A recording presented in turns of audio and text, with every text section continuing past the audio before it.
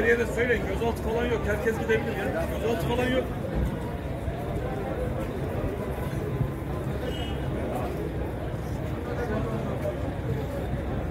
Hocam biraz daha geriden çeker misin?